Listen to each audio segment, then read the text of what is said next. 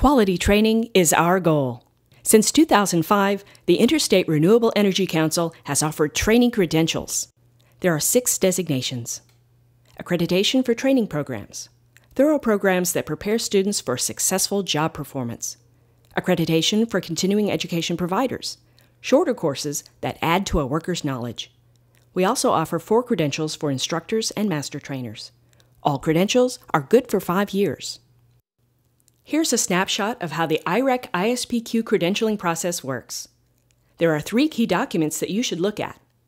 The first is the IREC ISPQ International Standard. To become accredited or certified, institutions and individuals must satisfy the requirements of this standard, including ethical and practical requirements, commitments to confidentiality, non discrimination, quality, and professionalism. It outlines requirements for program management and administration. It defines the requirements for facilities, resources, tools, and safety. And it requires trainers and program staff to have appropriate experience to do their jobs. The standard examines the curriculum and learning objectives and how they match the needed skills. Second is the Candidate Handbook. This is a hefty document, but it gives you all of the information you need about the IREC ISPQ process. Third, you'll need an application. Be sure to pick the right one. Here are the steps you need to take. Email us a one page letter of intent letting us know what credential you'll be applying for and course titles. Next, submit your completed application along with your fee payment. If there's anything missing, we'll let you know.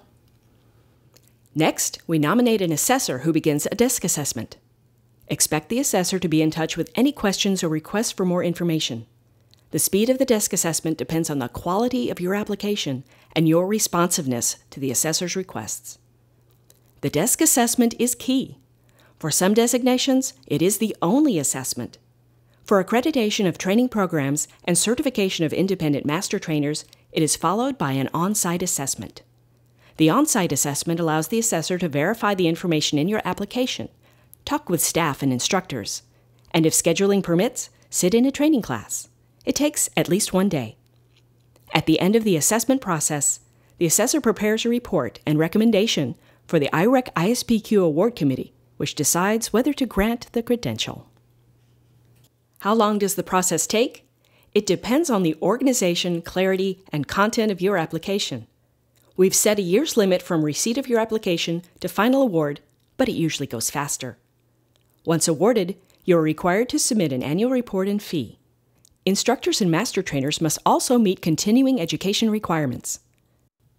This process is thorough, but remember, quality training is our goal. Want to learn more? Go to the Candidate Handbook. And if you have any questions or would like to talk to staff, please contact us.